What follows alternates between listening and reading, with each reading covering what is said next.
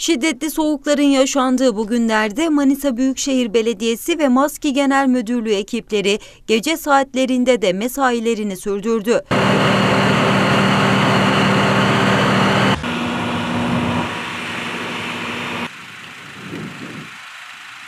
Bu kapsamda il genelinde tüm birimler gece boyunca sahadaydı. Tüm daire başkanlıklarıyla kar küremeden yolda kalan vatandaşların ve araçların kurtarılmasına, içme suyu ve kanalizasyon hatlarındaki arızalara müdahale eden dere yataklarının temizlenmesine, abonelerin sayaçları ile ilgili taleplerinden atık su arıtma tesislerinin sürekliliğinin sağlanmasına kadar yoğun bir tempoda çalışmalar devam etti.